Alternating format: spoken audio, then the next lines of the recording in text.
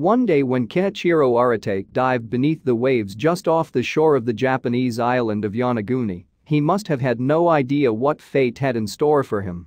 By his own admission, the scuba instructor had simply been looking for a new area to take clients. Instead, he stumbled across something in the murky depths that would become an enduring mystery to the entire world. It begged an intriguing question. Had he unwittingly unearthed Japan's answer to the lost city of Atlantis?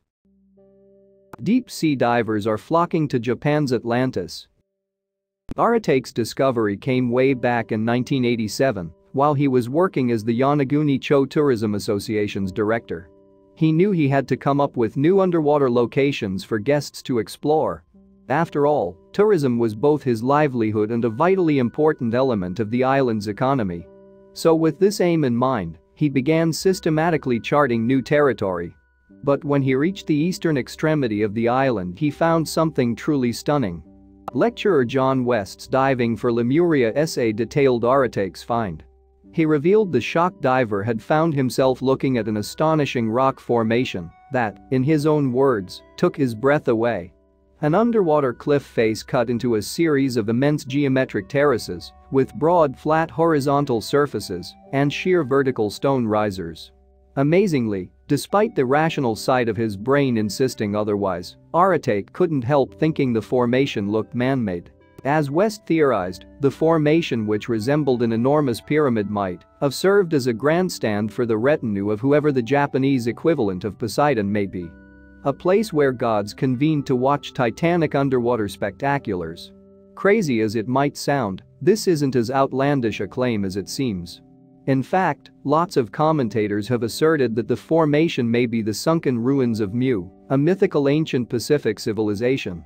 Over subsequent years, the formation became known as the Yonaguni Monument, and it attracted the attention of marine geologist Dr. Masaki Kimura. He plied his trade at the University of Ryukyu's Department of Physics and Earth Sciences in Okinawa. The scientist's biggest fascination, though, was the notion of ancient civilizations being swallowed up by the ocean. He even wrote a book about Lemuria, one of these supposed Atlantis-esque cities. Not unnaturally, therefore, Dr. Kimura became utterly convinced that the monument was part of the remains of an ancient city. He has been exploring the site and the surrounding area on dives since the early 90s. To date, nothing he has found has yet dissuaded him. In fact, every time Dr. Kimura swims amongst the strange, otherworldly ruins, seemingly his commitment to his theory only strengthens. But what do the ruins look like up close and personal? Well, inspired by Aratake and Dr. Kimura's stories of a Japanese Atlantis, Honey Travel's Deborah Dixon Smith took the dive 10 meters below the surface to have a look for herself. She described swimming into the monument in a blow-by-blow -blow account which began with her gliding through a tight tunnel-like feature, which opened out into a very large, very flat square. From there, Dixon Smith described laying eyes on two enormous columns, which seemed to climb upwards so far that almost reached the surface of the water. She claimed they feature squared-off edges. This of course, would be highly unusual for any rock formation created naturally. Moving around the columns, she then swam past what looked like walls before finding herself at what, for all intents and purposes, resembled a stage. The intrigued diver wrote, there are large steps leading up to the stage and more steps leading on to higher levels of the structure. She added, at the edge of the stage, the walls drop down steeply to a depth of around 45 feet. With a bit of dramatic license, Dixon Smith then claimed, you can just imagine crowds standing below, looking up at some kind of spectacle. It seems she found herself subscribing to Dr. Kimura's theory. In the article, Dixon Smith revealed it had been the apparent flight of stairs which had truly begun to sell her on Dr. Kimura's claim. She wrote, I think it's when I see the steps that it strikes me the monument simply must be man-made. She went on, each were the same height and width as each other, with sharp 90-degree angles.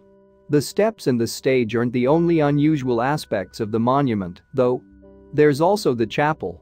You see, the formation sports a deep alcove which is shaped like a triangle and appears to be oriented to face exactly due north. Even more unusually, a heavy slab of rock is seemingly strategically placed at the top.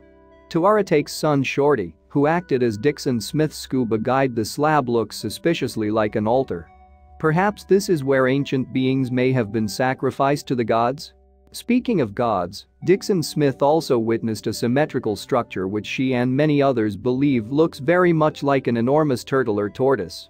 Is there a chance this is a representation of some culturally important creature an ancient civilization worshipped like a god? Interestingly, Dr. Kimura weighed in on this very topic during an interview with the Morien Institute. The institute's representative asked Dr. Kimura whether the supposed tortoise structure could have been inspired by Urashima Taro, a well-known Okinawan fable. The academic, though, flatly responded, I don't know the direct connection. For what it's worth, though, the fable told of the kind fisherman who rescued a young turtle from tormentors and set it free in the sea. After that, the story goes, to reward his kindness he was visited by a giant turtle who offered him a ride through a magical marine kingdom. To Dr. Kimura, the best indicator of the monument being man-made is its sheer size and intricacy. He told a science conference in 2007 the largest structure looks like a complicated, monolithic, stepped pyramid. Dr. Schoch has also explored the site on several dives, so he has been up close and personal to the monument. To illustrate his point that it's simply a naturally occurring rock formation, he turned to science. He claimed, it's basic geology and classic stratigraphy for sandstones, which tend to break along planes and give you these very straight edges, particularly in an area with lots of faults and tectonic activity. To his credit, Dr. Kimura did admit that, when he'd first heard the story of a potential Atlantis lying beneath the Japanese waves, he had also been skeptical. But that changed when he actually laid his eyes on the monument. Seeing the site at first hand had completely blown his mind.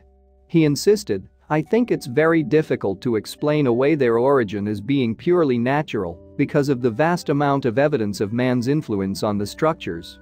Fascinatingly, Dr. Kimura claims the monument actually features carvings in the stone of faces and other basic figures, as well as animal likenesses sculpted from rocks. This belief has helped cement his theory that it is one of the last remnants of a city sunk beneath the waves thousands of years ago by an event similar to the Yonaguni-jima tsunami of 1771. Not so fun fact. This was the biggest tsunami ever recorded in world history. Dr. Kimura is also confident the images carved into the underwater monument are Asian in origin. He suggested the characters and animal monuments in the water, which I have been able to partially recover in my laboratory, suggest the culture comes from the Asian continent. He elaborated further on this idea, adding, one example I have described as an underwater sphinx resembles a Chinese or ancient Okinawan king. On top of this, Dr. Kimura is adamant that the monument isn't the only thing he has found in that particular area of the briny deep. He claims to have also discovered five temples, the crumbling remains of a castle, a stadium, and a triumphal arch. Not only that, but the geologist says they're interconnected by a road system, complete with waterways, and the entire complex is protected by huge walls. Obviously, all of these things assuming they are what Dr. Kimura thinks they are add up to the remnants of an ancient city. Of course, the passionate geologist has completed his due diligence in order to back up his outlandish claim. He was confident the city is around 5,000 years old, he said, because he has studied the stalactites he'd found within caves located throughout the city.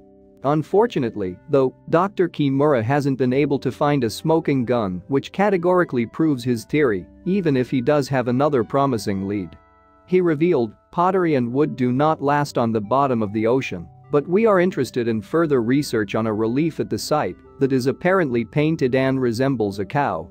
We want to determine the makeup of the paint. I would also like to carry out subsurface research. In total, the enormous city complex covers an area of around 300 meters by 150 meters. That's the equivalent of roughly 9 football fields laid side by side in an oblong. That's a huge area to navigate, but that's exactly what seismology professor Dr. Toru Uchi did when he wanted to see if Dr. Kimura's theories stood up to scrutiny. His verdict? The good doctor might be onto something. I've dived there as well and touched the pyramid Dr. Uchi revealed. What Professor Kimura says is not exaggerated at all.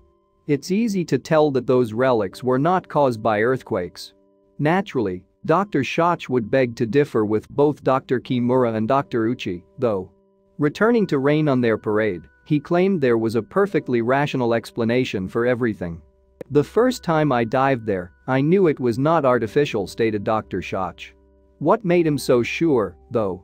What about the holes in the monument, which Dr. Kimura claimed were from support posts used during construction? Dr. Schoch was having none of it. He told National Geographic the holes were more likely caused by underwater eddies. These are types of whirlpools which wear away stone over time by sheer repetitive, swirling force. Dr. Kimura's supporters might then be inclined to ask about the perfectly straight stone steps of the monument. As Dixon Smith contended, those had to be man-made because no natural tectonic activity would result in a perfect right angle. Well, for starters, Dr. Schoch debated whether the steps even were as perfect as pictures made them appear. He claimed, it's not as regular as many people claim, and the right angles and symmetry don't add up in many places. As for the supposed carvings of faces and rock formations that look like animals, Dr. Schoch was in no mood to entertain the idea. He scoffed, Professor Kimura says he has seen some kind of writing or images, but they are just scratches on a rock that are natural. He interprets them as being man-made, but I don't know where he's coming from. As previously mentioned, though, Dr. Kimura is a man of steadfast belief, and he refuses to be discouraged from his theory by its critics. He stated, the best way to get a definitive answer about their origins is to keep going back and collecting more evidence. He then reiterated, if I'd not had a chance to see these structures for myself, I might be skeptical as well. Now, considering Dr. Kimura and Dr. Schoch are the two premier scientific names associated with Japan's Atlantis, and they have diametrically opposed viewpoints, it may surprise you to find out they weren't always so far apart. In fact, in a 1999 article from Spanish magazine Más Allá de la Ciencia, published eight years before the National Geographic piece, they actually found a lot of common ground. Allow us to explain. Dr. Schoch wrote, during my trips to Japan, I have had the opportunity to visit with Dr. Kimura several times, both on site in Yonaguni and in his office in Okinawa. Based on his research, Dr. Kimura has espoused the view that the Yonaguni monument is, on the whole, an artificial structure. He continued, if this is the case, then the Yonaguni monument appears to bear testimony to a previously unknown, yet very early and highly sophisticated civilization. During my own research on the Yonaguni monument Dr. Schoch continued, one of the first things I found is that the structure is, as far as I could determine, composed entirely of solid living bedrock. No part of the monument is constructed of separate blocks of rock that have been placed into position. Dr. Schoch explained, this is an important point, for carved and arranged rock blocks would definitively indicate a man-made origin for the structure, yet I could find no such evidence. Dr. Schoch continued, I was unable to determine the stone of which the Yonaguni monument is composed. This was due to the fact that the surfaces of the rocks are covered by various organisms, algae, corals, sponges, and so forth that obscure the actual surfaces. Indeed, Dr. Schoch believed this coating of organic material tends to make the surfaces of the Yonaguni monument appear more regular and homogeneous than they actually are. Dr. Schoch went on to explain that he believed natural wave and tidal action is responsible for eroding and removing the sandstones in such a way that very regular step-like and terrace-like structures remain. Added to this, the more Dr. Schoch compared the natural erosion of coastal rocks in the area with the monument, the more convinced he became of its natural origin. At this point, then, he's basically saying what he said to National Geographic simply in more detail. Here's where it gets interesting, though. Dr. Schoch revealed that Dr. Kimura had put forth the idea that only some of the monument's features are man-made or were modified by humans. He added, most recently Dr. Kimura has been referring to the Yonaguni monument and related structures as being terraformed. That is natural geological features that have been manipulated or modified by human hands. Wait, what? This idea that the entire site may have naturally formed but was then added to by ancient humans is actually something Dr. Schoch can get behind. He even admitted he hadn't been on anywhere near as many dives as Dr. Kimura, so therefore only had a short time to search for cast iron evidence of human manipulation. He added, just because I did not find it does not mean it does not exist. Dr. Schoch claimed it was sensible to consider the possibility that the Yonaguni monument is fundamentally a natural structure that was utilized, enhanced, and modified by humans in ancient times. He added that it may even have been a quarry from which blocks were cut, utilizing natural bedding, joint, and fracture planes of the rock, and thence removed for the purpose of constructing other structures, which are long since gone. Dr. Schoch believed this idea would actually fit nicely within traditions of the area. He wrote, on Yonaguni Island there appears to be an ancient tradition of modifying, enhancing, and improving on nature. He explained, scattered over the island are apparently very ancient obviously human-carved, stone vessels. These are composed of local rock and clearly were neither made nor transported to the island in modern times. Finally, Dr. Schoch claimed, beautifully crafted ancient stone tools have been found that could have been used to both shape some of the stone vessels as well as to modify the Yonaguni monument. He added, it may have been reshaped to serve as foundation for stone, timber, or mud buildings that have since been destroyed. Or it may have even served as some form of boat dock for an early seafaring people. In closing, then, perhaps Dr. Kimura and Dr. Schoch aren't quite as far apart in their thinking as it might initially appear. What they definitely agree on, though, is that the Yonaguni monument is a genuine historical artifact. As such, they feel it should be treated with the requisite care and reverence it deserves. Much to their chagrin, though, Okinawa Prefecture as well as the Japanese Agency for Cultural Affairs does not agree. Many believe that, until a definitive answer emerges about the origins of the monument, the government will never officially declare it a cultural site. Yet the reason behind this may also be much more political in nature. You see, Yonaguni is very close to Taiwan, which doesn't have a great relationship with China, which in turn is at odds with Japan. If one of those countries made a move regarding the monument, it could potentially become a political hot potato. All in all, it remains to be seen whether any official answers ever reveal themselves regarding the monument. But until then it will remain as popular a tourist spot as it always has been ever since Aratake discovered it more than 40 years ago. After all, who doesn't love a mystery? Especially when that enigma happened to be located in idyllic 27-degree waters with crystal clear visibility, beautiful coral reefs, and fascinating marine life forms swimming all around. Thanks for watching, and don't forget to like and subscribe.